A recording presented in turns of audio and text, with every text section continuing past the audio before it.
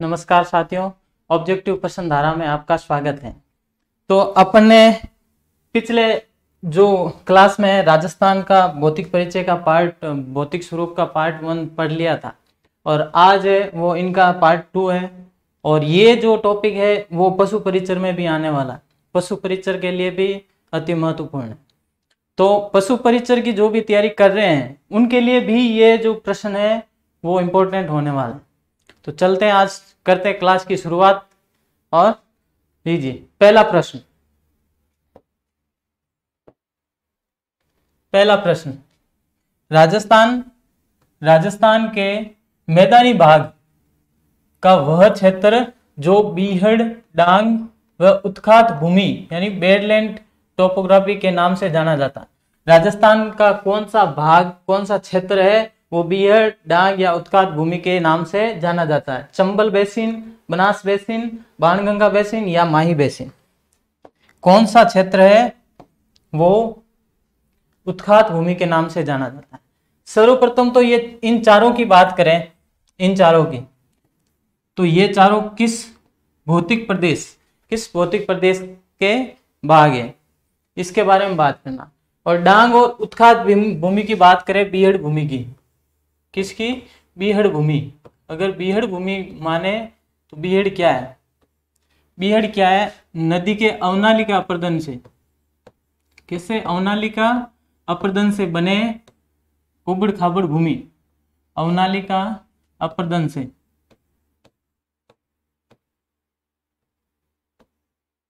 से बनी उबड़ खाबड़ भूमि।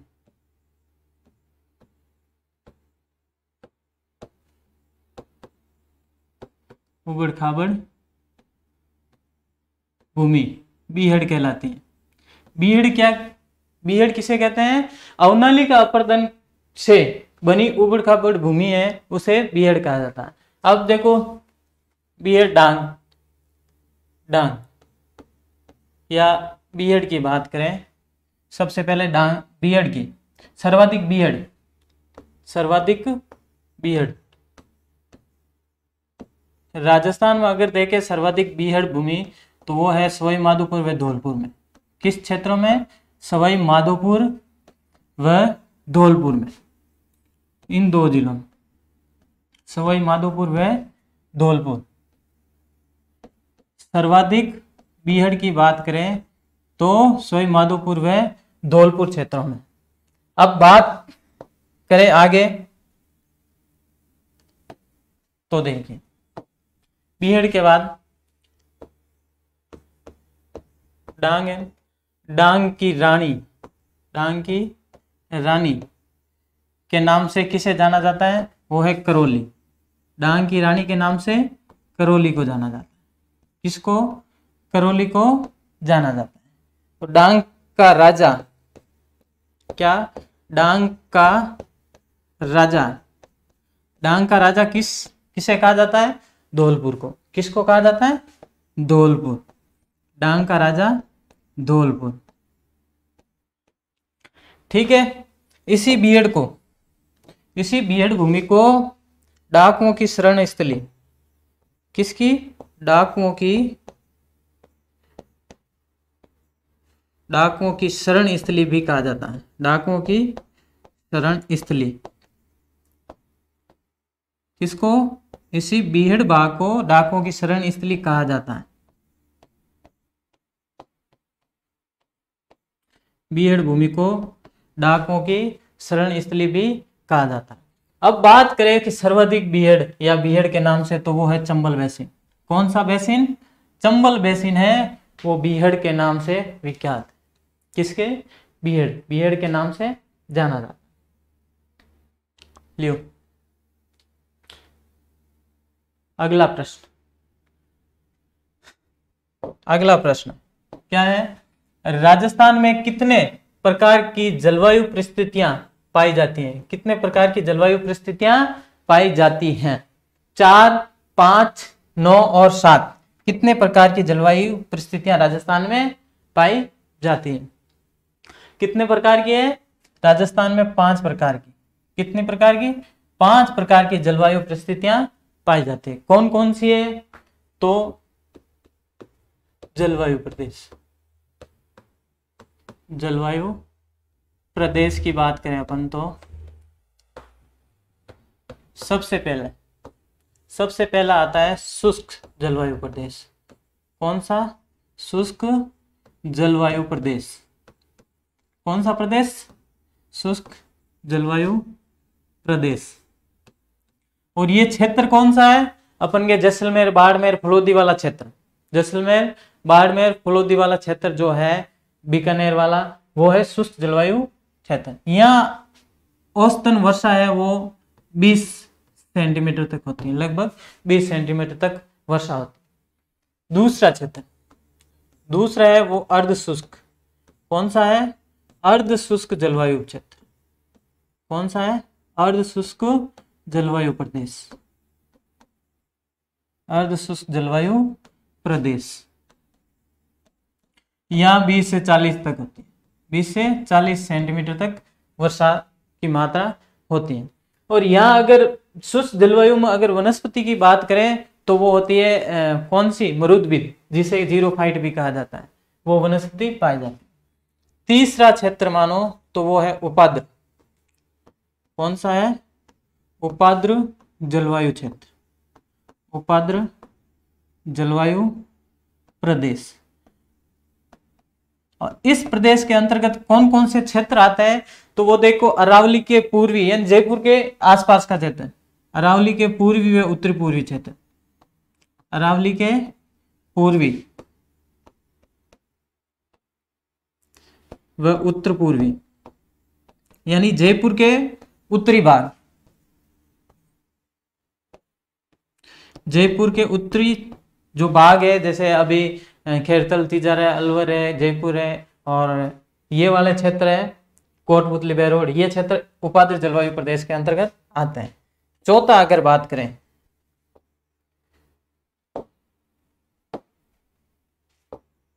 चौथा क्षेत्र चौथा क्षेत्र है वो आर्द्र। कौन सा? आद्र जलवायु क्षेत्र।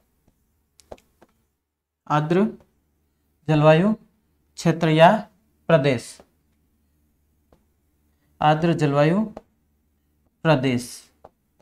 और लास्ट है, वो है पांचवा अति आर्द्र जलवायु प्रदेश। अति आर्द्र जलवायु प्रदेश। जलवायु प्रदेश। और इसके अंतर्गत हाड़ोती वाला क्षेत्र आता है। अति आर्द्र जलवायु के अंतर्गत हाड़ोती वाला क्षेत्र, यानी ये वाला क्षेत्र कौन सा? झालावाड़ झालावाड़ वाला क्षेत्र। कौन सा? झालावाड़ और ये बूंदी कोटा वाला। और यहाँ अगर वर्षा की बात करें तो वर्षा कितनी है? औसत 100 सेंटीमीटर। औसत कितनी है? अति आदर में 100 सेंटीमीटर। औसत वर्षा 100 सेंटीमीटर और आर्द्र जलवायु में अगर करें तो 60 से 80 सेंटीमीटर वर्षा की मात्रा होती। और अगर अति आर्द्र में सर्वाधिक आर्द्रता है वो इसमें। अब दो चीज़ और देखो। एक 25 सेंटीमीटर वर्षा रेखा 25 सेंटीमीटर वर्षा रेखा।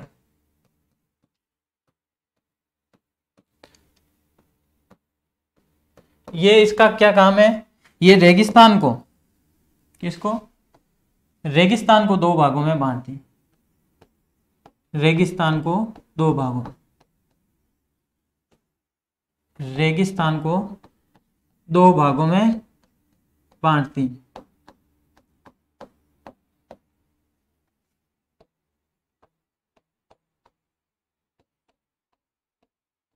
कौन से भाग है?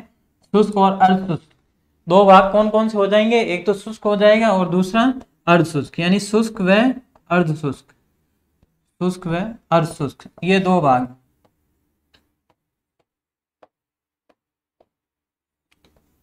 इनमें बांटते हैं ठीक है? हाँ। ये हो गया 25 सेंटीमीटर वर्षा रेखा। अब देखो एक है, अपन के 50 सेंटीमीटर। वर्षा रेखा। कौन सी है? पचास सेंटीमीटर वर्षा रेखा।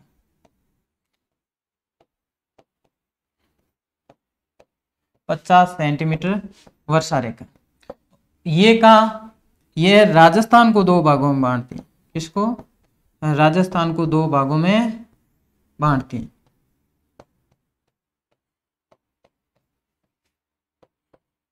किसको? राजस्थान को है, वो दो भागों में बांटती है। तो ये हो गया अपन के ये वाला। जलवायु प्रदेश की बात करें, यानी जलवायु परिस्थितियाँ। तो उनमें देखो, जलवायु में शुष्क जलवायु प्रदेश पाँच प्रकार के होंगे। टोटल पाँच। कितने प्रकार की परिस्थितियाँ पाई जाती हैं? पाँच प्रकार। यहाँ की अक्षांशीय स्थिति देखो यहाँ समुद्र तट से दूरी, इन सभी के कारण ये जो परिस्थितियाँ हैं, वो पाँचों अपन के यहाँ पाई जाती है। तो लो स्क्रीनशॉट। बढ़ते हैं आगे। नेक्स्ट नेक्स्ट पर्सन क्या है? गोगुंदा से कुंबलगढ़ के मध्य स्थित पठार कहलाता है। कहाँ से? गोगुंदा से कुंबलगढ़ गोगुंदा कहाँ पर है? उदयपुर गोगुंदा कहाँ पर है? उदयपुर। कुंबलगढ़ राजसमंद। कहाँ पर है? राजसमंद। गोगुंदा से कुंभलगढ़ के मध्य स्थित पठार क्या कहलाता? तो देखिए पठारों के नाम कौन सा? मेसा का पठार, लसाड़िया का पठार भोराट का पठार या फिर ऊपरमाल का पठार? कौन सा पठार कहा जाता? कौन सा? गोगुंदा से कुंभलगढ़ के मध्य स्थित पठार कहलाता है। कौन सा हो गया? भोराट का पठार। कौन सा पठार कहलाता है? भोराट का पठार। अब देखो मेसा का पठार। सबसे पहले बात कर लेते हैं पठार पठार में मैसा का पठार। कौन सा? मैसा पठार। कहाँ स्थित है? चित्तौड़। मैसा पठार कहाँ पर है? चित्तौड़। चित्तौड़। कहाँ पर है? चित्तौड़। और इसकी अगर ऊंचाई देखें तो है 620 कितनी? 620 मीटर ठीक है? और इसके बारे में एक और है, चित्तौड़ का जो दुर्ग है, वो इसी पठार पर स्थित है। चित्तौड़ का जो दुर्ग है, चित्तौड़ का दुर्ग, वो मेसा के पठार पर स्थित है। इसी पठार पर स्थित है।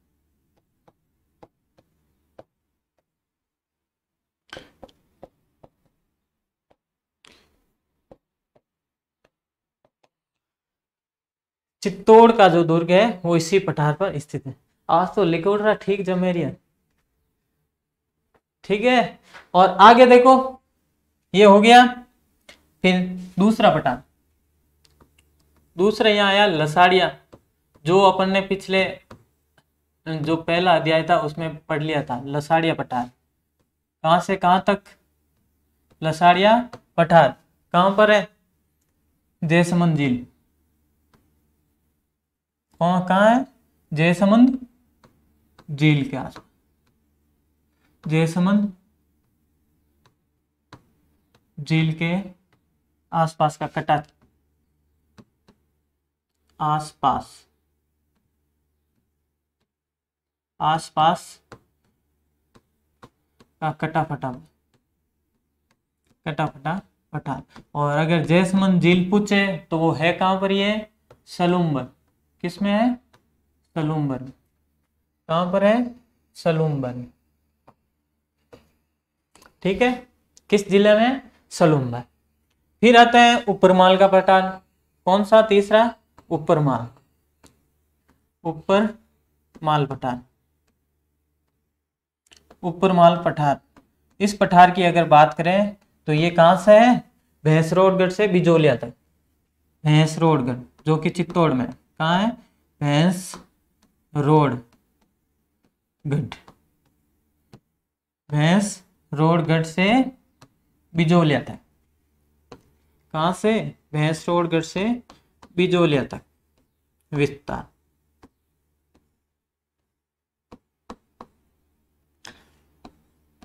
इस पठार का विस्तार कहाँ से कहाँ तक है? भैंस रोडगढ़ से बिजोलिया तक। ठीक है? आगे देखो चौथा पठार चौथे में आता है क्रास का वे कांकनवाड़ी कौन सा? क्रास का वे कांकन वाड़ी पठार क्रास का वे कांकनवाड़ी पठार ये कहाँ पर है? तो ये है अलवर के अंदर कहाँ पर है? अलवर। का सरीस का अभ्यारण्य इसी में। सरीस का अभ्यारण ठीक है?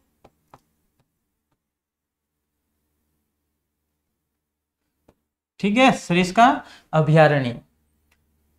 आगे। एक है, मानदेसरा। कौन सा? मानदेसरा पठार। मानदेसरा पठार। ये कहाँ पर है? ये भी भैंस रोडगढ़ में। भैंस रोडगढ़। कहाँ पर है? भैंस रोडगढ़, जो कि चित्तौड़ में कहा है? चित्तौड़। कहाँ पर है? भैंस रोडगढ़ चित्तौड़ में और अगर पठार की बात करें तो दो अपन के महत्वपूर्ण पठार एक तो उड़िया। कौन सा? उड़िया पठार। एक तो हो गया उड़िया पठार। उड़िया पठार। तेरह सौ साठ मीटर। ठीक है? है कहाँ पर? सिरोही में।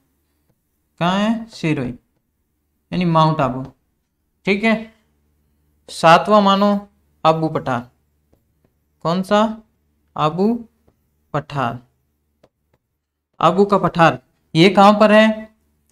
ये इसकी अगर हाइट देखो तो बारह सौ मीटर। ये भी सिरोही में ही है। ये भी सिरोही में ठीक है? हो गया? इसका उत्तर हो गया बोराट का पठार। लियो स्क्रीनशॉट। ओके, चलो नेक्स्ट प्रश्न नेक्स्ट प्रश्न क्या कहते हैं? दक्षिणी पूर्वी पठार, यानी हाड़ोती के संदर्भ में निम्नलिखित कथनों पर विचार कीजिए। किसके बारे में? दक्षिण पूर्वी पठारी जो प्रदेश है, उनके बारे में, और निम्न कथन जो ये चार पाँच कथन दे रखे इन पर विचार कीजिए। और देखो, पहला कथन क्या है? ये क्रिटेशियस काल में निर्मित है। ये किस काल में? क्रिटेशियस काल में निर्मित है। दूसरा क्या है? ये प्राचीन गोंडवाना भूमि का अवशेष माना जाता है। किस भूमि का? गोंडवाना। तीसरा, यह 6.89 भाग पर विस्तृत है, जिस पर राज्य की लगभग 11 प्रतिशत जनसंख्या निवास करती है। कितने प्रतिशत? 6.89 प्रतिशत भूभाग पर 11 प्रतिशत जनसंख्या निवास करती है। चौथा, इसका ढाल उत्तर पूर्व से दक्षिण पश्चिम की ओर। इसका ढाल उत्तर पूर्व से दक्षिण पश्चिम की ओर है। ये राजस्थान के दक्षिण पूर्वी भाग में स्थित है। ये पठार यानी हाड़ोती पठार के संदर्भ में कौन सा कथन सत्य है? ठीक है?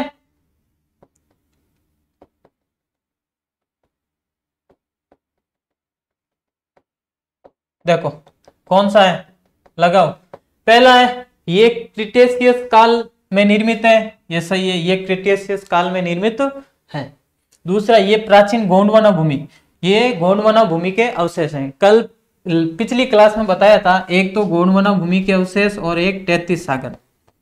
गोंडवाना भूमि, गोंडवाना लैंड और एक तैतीस सागर के अवशेष। ठीक है, चारों भूभाग के बारे में। तैतीस सागर। अब कौन कौन से ये हैं कौन कौन से वो हैं, देख लेना। कौन कौन से भाग गोडवाना लैंड के और कौन कौन से जो भौतिक प्रदेश है वो तैतीस सागर के अवशेष माने जाते ठीक है?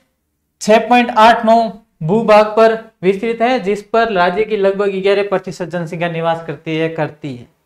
इतने 6.89 प्रतिशत भूभाग पर 11 प्रतिशत जनसंख्या इस भाग में निवास करती है करती है। ठीक है? ओ बी ऑप्शन सही आगे देखो, इसका डाल उत्तर पूर्व। कहाँ से? उत्तर पूर्व से दक्षिण पश्चिम की ओर। ना, ये खोटा हो गया। इसका ढाल क्या है? उत्तर पूर्व से दक्षिण पश्चिम की ओर नहीं। ठीक, ये देखो, अगला। ये राजस्थान के दक्षिण पूर्वी भाग में स्थित है। जी हाँ ये राजस्थान के किस भाग में स्थित है? दक्षिणी भाग में। है ना?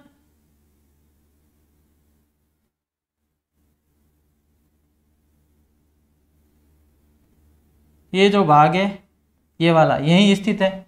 ठीक है? चलो, मिटा दो इसको। हाँ। तो ये भी क्या है? कथन सही है। तो देखो, अपन के कथन एक सही है, दो सही है, तीन सही है और पाँच सही है। यहाँ पहले ऑप्शन में दे रखा, एक, दो, तीन, चार, पाँच सही है। तो पाँचों ऑप्शन अपन के सही नहीं है। और दूसरे में क्या दे रखा है?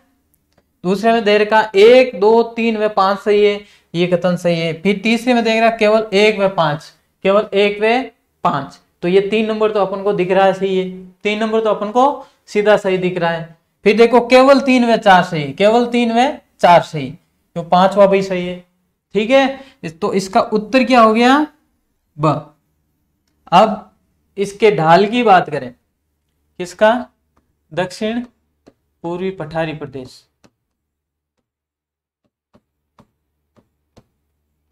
इसका ढाल। अगर इसके ढाल की बात करें तो ये होगा कहाँ से? दक्षिण से दक्षिण से उत्तर व उत्तर पूर्व। दक्षिण से उत्तर व उत्तर पूर्व की ओर। पूर्व की ओर। चलो, इस भौतिक भाग में क्या है सबसे ज़्यादा नदियाँ भी इसी में? सर्वाधिक नदियाँ वाला, यही है। सर्वाधिक नदियों वाला भौतिक भाग भौतिक विभाग यही है। ठीक है? चलो नेक्स्ट अगला प्रश्न। क्या कह रहा है? राजस्थान में सर्वाधिक वर्षा मानसून की किस शाखा से होती है? बंगाल की खाड़ी, अरब सागर या भूमध्य सागर, या इनमें से कोई नहीं? राजस्थान में सर्वाधिक वर्षा। क्या? राजस्थान में सर्वाधिक वर्षा किस मानसून से होती है? किससे होती है? वो है बंगाल की खाड़ी। किससे होती है? बंगाल की खाड़ी। राजस्थान में सर्वाधिक वर्षा बंगाल की खाड़ी मानसून से। राजस्थान में सर्वाधिक वर्षा.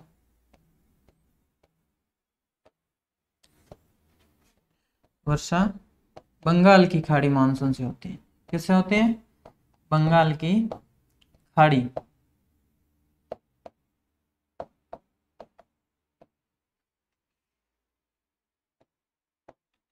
के मानसून से होती है.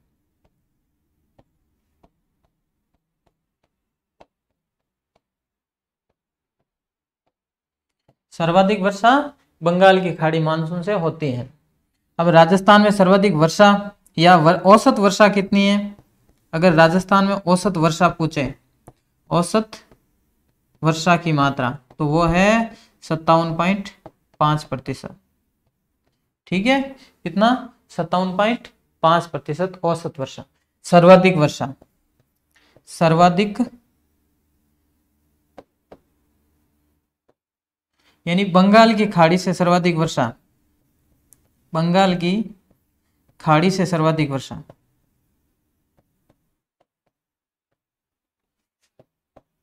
से सर्वाधिक वर्षा। कहाँ होती है? अरावली के पूर्व में। कहाँ होती है? अरावली के पूर्वी भाग में।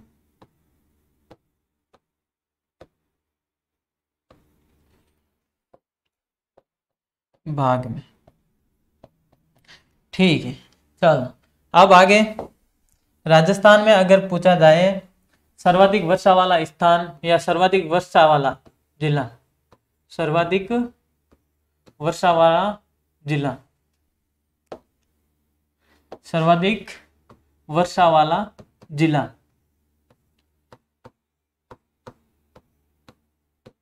अगर सर्वाधिक वर्षा वाला जिला पूछा जाए तो है झालावाड़। यहाँ बहुत ज़्यादा बारिश होती है। न्यूनतम वर्षा वाला जिला अगर पूछे, कितनी हो जाती है? औसतन 100 सेंटीमीटर।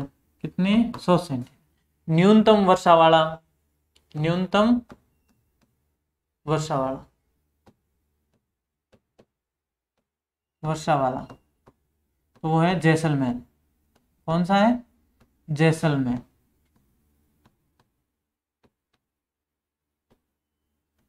कौन सा है? जैसलमेर। अच्छा अरब सागर से राजस्थान में वर्षा। सबसे पहले कहाँ होती है अरब सागर से? अरब सागर से, अरब सागर से वर्षा। होती है राजस्थान में।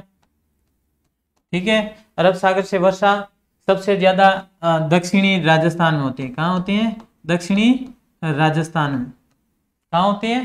दक्षिणी राजस्थान। अरब सागरीय मानसून प्रवेश कहाँ करता है? अरब सागरीय मानसून। अरब सागरीय मानसून की अगर बात करें तो ये राजस्थान में बांसवाड़ा से प्रवेश कहाँ से? बांसवाड़ा से। बांसवाड़ा से प्रवेश करता है। कहाँ से करता है? बांसवाड़ा से राजस्थान में प्रवेश करता है। अब बात करें वर्षा ऋतु में। राजस्थान में अगर बारिश की बात करें तो 90 से 95 प्रतिशत बारिश 90 से 95 प्रतिशत बारिश है वो वर्षा ऋतु में होती है। किसमें वर्षा ऋतु में। किसमें होती है? वर्षा ऋतु में होती है।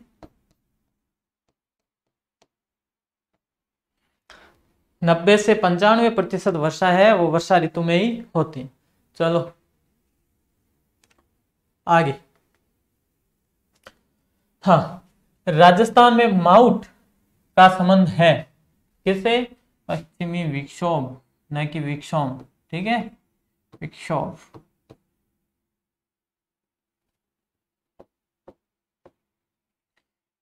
विक्षोभ। ठीक है? राजस्थान में माउट, किसका? माउट का संबंध। माउट क्या है? पश्चिमी विक्षोभ से होने वाली वर्षा दक्षिण पश्चिम मानसून से, उत्तर पूर्व मानसून से, या दक्षिण पूर्व मानसून से? किस मानसून से होने वाली वर्षा है? माउट के बारे में। माउट। क्या है? माउट। माउट भूमध्य सागरीय चक्रवात से होने वाली वर्षा। कहाँ से? भूमध्य सागरीय चक्रवात से।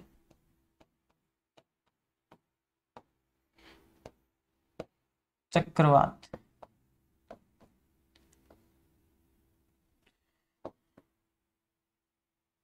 भूमध्य सागरीय चक्रवात से होने वाली वर्षा।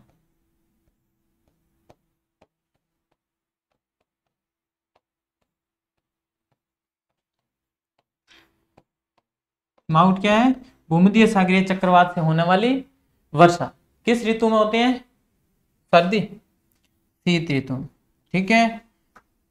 माउट को गोल्डन ड्रॉप्स भी कहा जाता है। क्या कहा जाता है? Golden drops. गोल्डन ड्रॉप्स भी कहा जाता है। क्या कहा जाता है? गोल्डन ड्रॉप्स भी कहा जाता है। अच्छा ये किस फ़सल के लिए लाभदायक है? ये किस फ़सल के लिए लाभदायक है? तो वो है रबी की फ़सल के लिए। रबी की फ़सल के लिए लाभदायी। कौन सी फ़सल? रबी की फ़सल के लिए लाभदायी।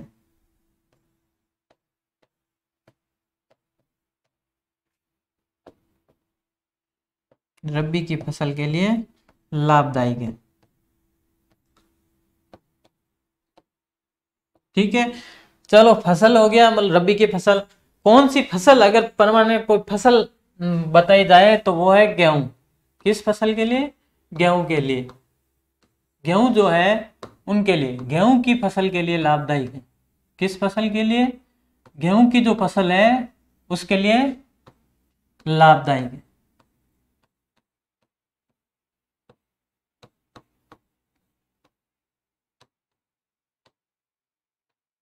अच्छा इससे वर्षा कहाँ होती है? माउट की वर्षा होती कहाँ है? और इसका उत्तर हो जाएगा अपन के पश्चिमी विक्षोभ। कौन सा? पश्चिमी विक्षोभ। इससे राजस्थान नहीं, भारत में। इससे भारत में। इससे भारत में। भारत के उत्तर पश्चिमी इलाकों में बारिश होती है। कहा? उत्तर पश्चिमी इलाकों में बारिश होती है। उत्तर पश्चिमी भाग में बारिश होती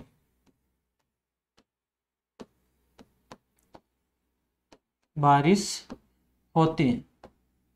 कहाँ होती है? उत्तर पश्चिमी भाग में। ठीक है? कहाँ होती है बारिश? भारत के उत्तर पश्चिमी भाग में बारिश होती है।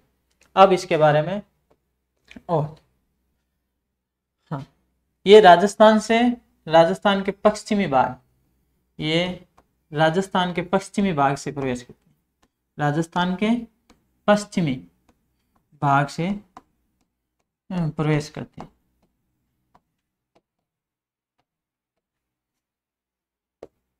करते हैं। चलो, अब बात करें, यहाँ अपन ने लिखा रबी की फ़सल के लिए लाभदायक। किस फ़सल के लिए? रबी की फ़सल के लिए लाभदायक। तो रबी की फ़सल कब बोई जाती है? रबी की फ़सल। रबी की फ़सल की बात करें तो ये कौन सी फ़सल होगी? कौन सी होगी? जिसको अक्टूबर से अक्टूबर, नवंबर, ये दिसंबर में बोया जाता है। अक्टूबर से नवंबर और कभी कभी दिसंबर तक मान लेते नवंबर तक बोई जाती हैं। में बोई जाती हैं। ठीक है? रबी की फ़सलें कौन सी होती हैं? अक्टूबर, नवंबर में बोई जाती हैं और अप्रैल, मई में काट ली जाती कटाई की बात करें, अगर अप्रैल से जून तक। कब तक? अप्रैल से जून तक। इसको काट लिया जाता है। कौन कौन सी फ़सलें इसके अंदर आती है? यानी जो सर्दी की ऋतु में है उनाड़ू फ़सल। कौन सी है? उनाड़ू फ़सल। कौन सी मानी जाती है? उनाड़ू फ़सल। और उनाड़ू में कौन कौन सी आती है? जीरा। जीरा हो गया, सरसों हो गया और ये जौ वगैरह, जो है, गेहूँ है, ये जो सारी फ़सलें हैं, ये इसमें ही आती हैं। जैसे धनिया हो गया, ये सारी रबी फ़सल के अंतर्गत आती हैं। हो गया राजस्थान में माउट। माउट कौन, क्या होता है? भूमध्य सागरीय चक्रवात से होने वाली वर्षा। इसे गोल्डन ड्रॉप्स भी कहा जाता है। रबी की फ़सल के लिए लाभदायक है और गेहूँ की फ़सल के लिए लाभदायक होती है। इससे उत्तर पश्चिमी भाग में बारिश होती है। किसके? भारत के उत्तर पश्चिमी भाग में बारिश होती है। राजस्थान में ये के पश्चिम भाग से प्रवेश करती है। इसीलिए कहा जाता है कि पश्चिमी विक्षोभ इसका नाम ओके, चले नेक्स्ट हाँ आगे। हम्म अगला प्रश्न। जब उपजाऊ भूमि बंजर व रेतीली मिट्टी में परिवर्तित हो जाती है तो उस क्रिया को क्या कहा जाता है?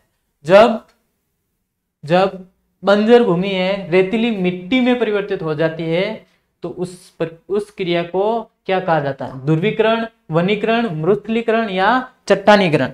क्या कहा जाता है? दियो उत्तर।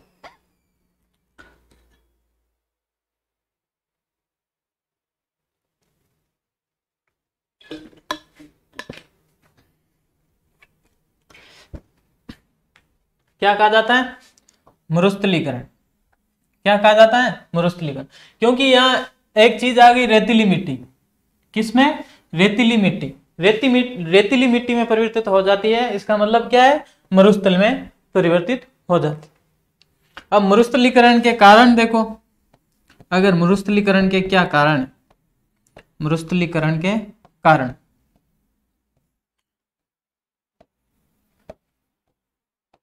कारण अगर पूछे तो देख, नंबर वन, क्या हो जाएगा?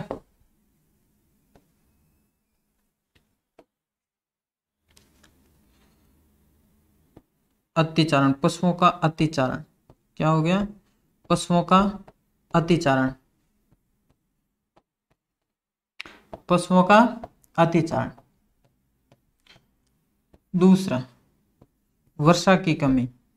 क्या हो गया? वर्षा की कमी। ठीक है? तीसरा, अंधाधुंध कटाई।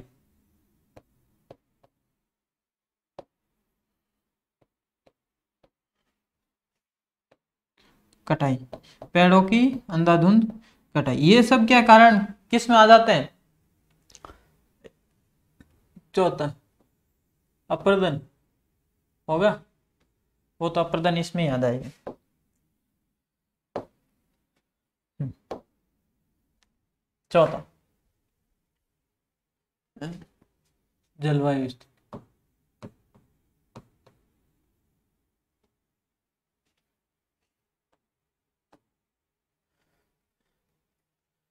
और मरुस्थलीकरण के कारण क्या हो सकते हैं? पशुओं का अतिचारण हो गया, वर्षा की कमी होगी, अंधाधुंध कटाई होगी। यानी जलवायु ये नहीं, वहाँ जलवायु परिवर्तन के कारण। ठीक है? ये, चलो अगला प्रश्न। हाँ। राजस्थान का सबसे आद्र जिला क्या है? राजस्थान का सबसे आद्र जिला कौन सा है? राजस्थान का सबसे आर्द्र जिला पूछा। कौन सा जिला? आद्र जिला। सबसे आर्द्र जिला, जोधपुर, चूरू, झालावाड़ या जैसलमेर। कौन सा जिला है सबसे आर्द्र जिला? है। तो वो है झालावाड़। कौन सा जिला है? राजस्थान का सबसे आर्द्र जिला, झालावाड़। देख, सबसे आर्द्र ज़िले की बात करें तो राजस्थान का सबसे आर्द्र जिला।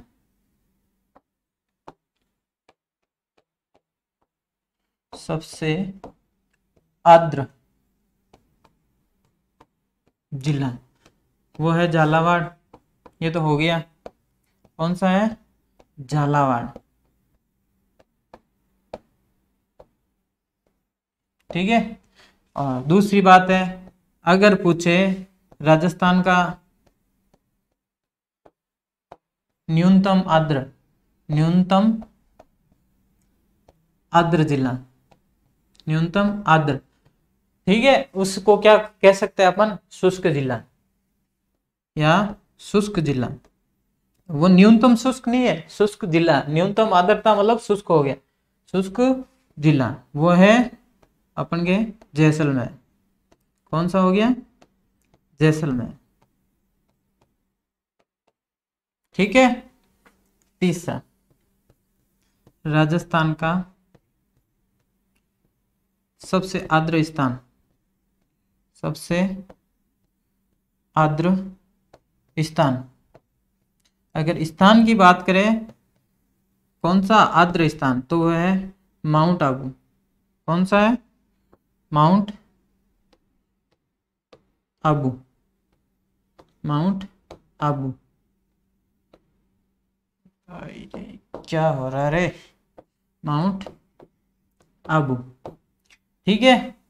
और अगर यही पूछ ले, राजस्थान का न्यूनतम आर्द्र स्थान, राजस्थान का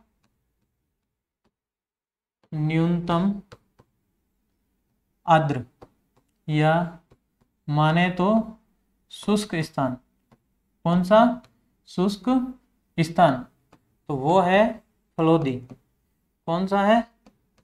फलोदी। जो अभी जिला है, क्या है? जिला है फलोदी हाँ। तो इसका उत्तर हो गया सबसे आद्र अगर बात करें तो वो है झालावाड़। कौन सा जिला हो गया? झालावाड़। या सर्वाधिक वर्षा भी यहाँ होती है।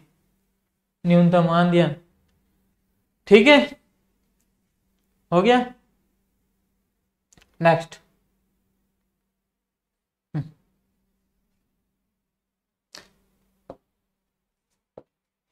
राजस्थान में ग्रीष्म ऋतु में। किसमें? ग्रीष्म ऋतु में चलने वाली गर्म, धूल भरी हवाओं, हवाएँ क्या कहलाती हैं? ग्रीष्म ऋतु, यानी गर्मी में जो ज़बरदस्त आंधिया चल है, उसे क्या कहा जाता है? चल जो पश्चिमी राजस्थान में रहते हैं, उनके खाना खाना भी हराम है, इन आंधियों की वजह से। तो ये क्या कहलाती है? लू। क्या कहलाती है? लू कहलाती लू आती है ना, तब खाना क्या खाए? आधा नमक। नमक की जगह रेत आती है। ये है पश्चिमी राजस्थान के हाथ क्या कहलाती है? लू। लू क्या है? जो ग्रीष्म ऋतु में चलने वाली सबसे गर्म जो पवने होती है। ठीक है? धूलभरी आंधिया है, वो है क्या? अपन के लू। अब बात करते हैं यहाँ पूर्वई की। क्या करते हैं?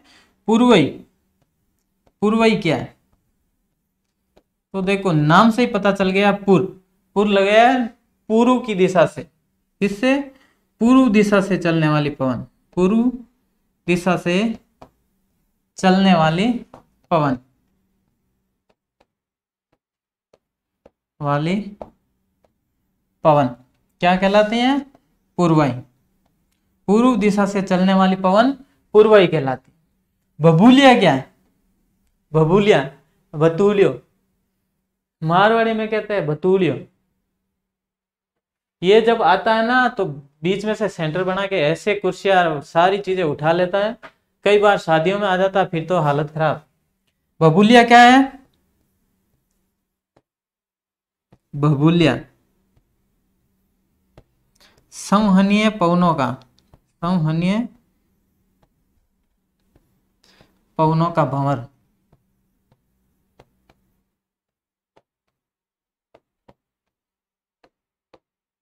ठीक है? सामान्य पवनों पवनों का भंवर यानी ये बवंडर की तरह आता है। और जो उसके सेंटर में कोई चीज़ अगर आ गई सेंटर में कोई चीज़ आ गई तो वो सीधे ऊपर ही जानी है। ऊपर ऐसा नहीं कि पूरा ऊपर ही चले जाए। ठीक है? क्या कहलाते हैं? बबूलिया। एक आपने नाम सुना होगा, पछुआ। कौन सी पवन है? पछुआ। पछुआ या पछुआ? ठीक है? ये किस दिशा से? पश्चिम दिशा से। पश्चिम दिशा से चलने वाली। पश्चिम दिशा से चलने वाली पवन। जो पश्चिम दिशा से चलने वाली पवने हैं, वो क्या कहलाती हैं? क्या कहलाती हैं? पछुआ। और भी पवनों के नाम है। जो आप अगर बुज़ुर्गों के पास बैठोगे, दादा दादी के पास तो वो नाम बता देंगे। बहुत सारी बहुत सारी पवने होती हैं। जैसे अपन के यहाँ सूर्य नाम कभी सुना ही होगा। सूर्य पवन। ठीक है? नाम सुन लेना, सूर्य। ठीक है? पर पूर्वई पूर्वई तो अपन ने ले ही लिए। पूर्वई का नाम सबसे ज़्यादा ज़िक्र होता है। ठीक है? फिर देखो, धराऊ। कौन सा? धराऊ। ये पौने स्थानीय नाम है इनका, और ये बुज़ुर्गों को सबसे ज़्यादा पता होता। चलो, हो गया? चलते आगे। अगला प्रश्न। हाँ। राजस्थान में मुख्यतः कितनी ऋतुएँ पाई जाती हैं? ऋतुएँ। राजस्थान में मुख्यतः कितनी ऋतुएँ पाई जाती अब ऋतुओं के बारे में बात करनी कौन सी ऋतुएँ कितनी? चार, तीन, पाँच और दो। राजस्थान में ऋतुएँ तीन ही पाई जाती कितनी तीन ही ऋतुएँ मुख्यतः ऋतुओं की अगर बात करें, राजस्थान में ऋतुएँ, ठीक है? तो पहली ऋतु कौन सी हो गई? पहली हो जाएगी अपन के ग्रीष्म ऋतु। कौन सी ऋतु? ग्रीष्म ऋतु। ठीक है? इसका समय है कब से कब तक?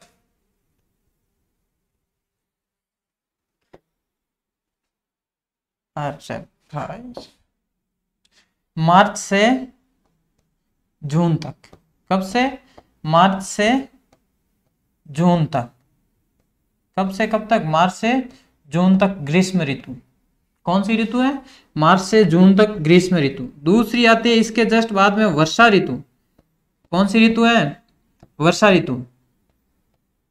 और वर्षा ऋतु का समय माने तो वो क्या है? वो है जून के बाद। जून के बाद क्या है? जुलाई। क्या है? जुलाई से कब तक?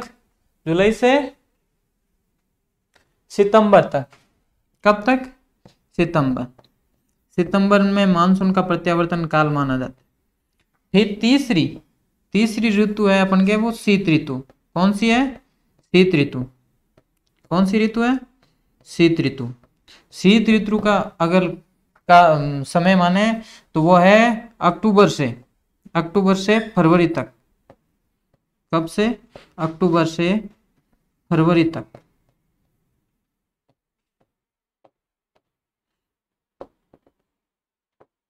अक्टूबर से फरवरी तक। ठीक है? ये है शीत ऋतु का। अब बात करें ग्रीष्म ऋतु में तो ग्रीष्म ऋतु में क्या है? गर्मी पड़ती है। ग्रीष्म ऋतु में गर्मी। टेम्परेचर औसत टेम्परेचर राजस्थान का कितना माना जाता है? तीस से चालीस ही। तीस से चालीस डिग्री। तीस से चालीस डिग्री सेंट। ठीक है? और अब राजस्थान में, वर्तमान में कितना? लगभग चालीस से पचास। कितना? चालीस से पचास डिग्री सेल्सियस। यहाँ तक पहुँच जाता है। और इस साल तो पचास से भी ऊपर गया है। ये दो तीन क्षेत्र है, जैसे जैसलमेर है, फलोदी है, बाड़मेर है। इसमें कहाँ तक पहुँच जाता है? पचास से ऊपर भी। जैसलमेर, फलोदी, बाड़मेर, चूरू वाला क्षेत्र। ये यहाँ पे क्या है? पचास से ऊपर भी पहुँच जाता ठीक है, यहाँ पे पचास डिग्री कभी कभी डेली नहीं, पचास से ऊपर भी पहुँच जाता ठीक है? चलो। हो गया, ऋतु तीन। पहली है ग्रीष्म ऋतु, दूसरी है वर्षा ऋतु, तीसरी शीत ऋतु। नेक्स्ट अरब सागरीय। अरब सागरीय मानसून शाखा से राजस्थान के किस भाग में अधिक वर्षा प्राप्त होती है? राजस्थान के किस भाग में? अगर भाग की बात करें, किस भाग में? उत्तरी राजस्थान, पूर्वी राजस्थान, पश्चिम राजस्थान या दक्षिणी राजस्थान? राजस्थान के किस भाग में अरब सागरीय मानसून? किस मानसून की बात हो रही है? अरब सागरीय मानसून की शाखा से वर्षा होती है। देखो, अरब सागरीय मानसून की शाखा। प्रवेश कहाँ से होता है? बांसवाड़ा से। अरब सागरीय मानसून की शाखा का प्रवेश।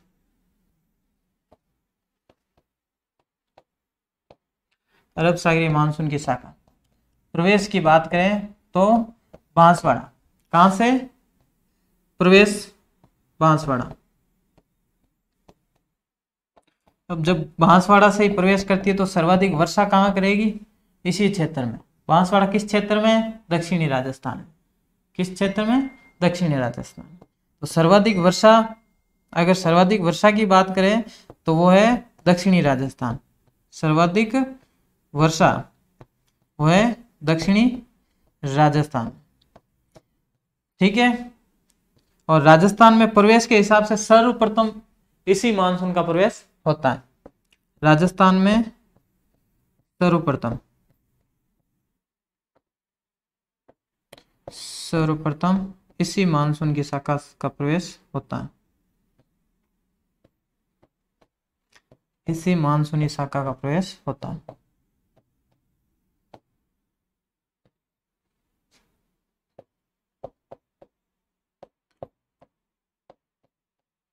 प्रवेश होता है। ठीक है? अब बात करें सर्वाधिक अगर वर्षा की तो सर्वाधिक वर्षा है वो बंगाल की खाड़ी की मानसून से होते हैं। सर्वाधिक वर्षा किस किस से होते हैं? बंगाल की खाड़ी शाखा से। बंगाल की खाड़ी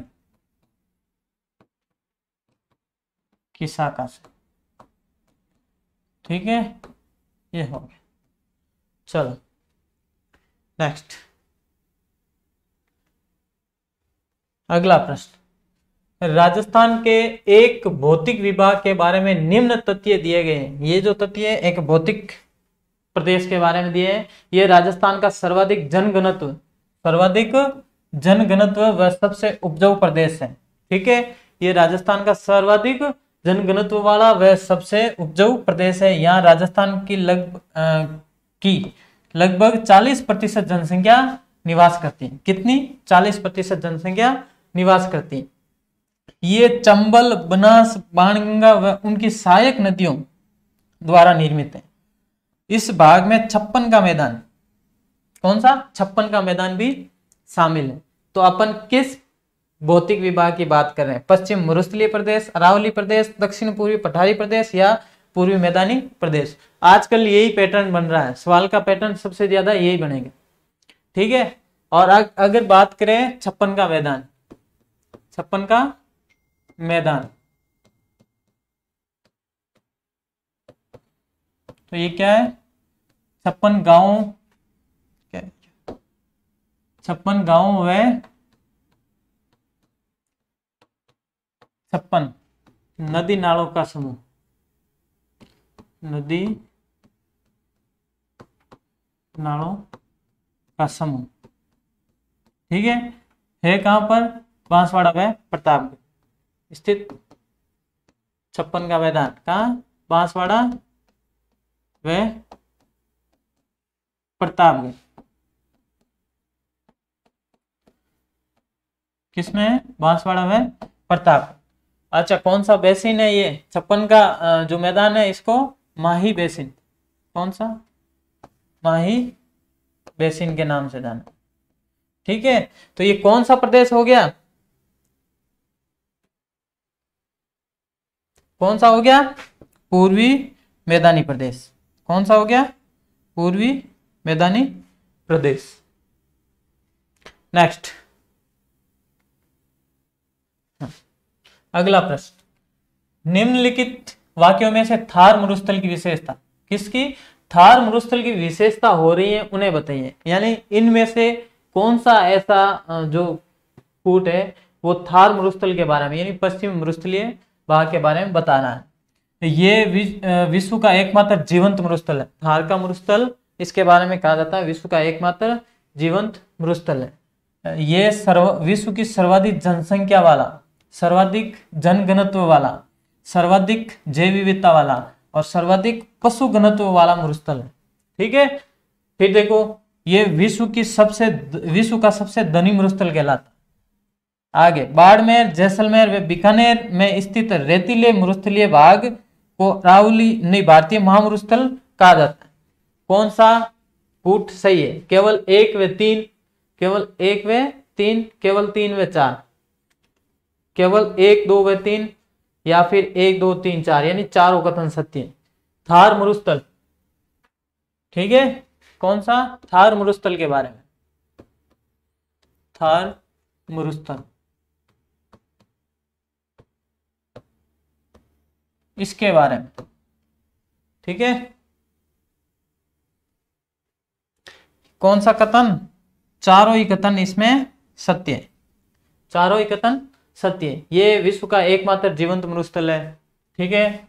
यहाँ सर्वाधिक, ये जो थार मरुस्थल है, ये विश्व में सर्वाधिक जनसंख्या वाला मरुस्थल और सर्वाधिक जनसंख्या घनत्व वाला मरुस्थल।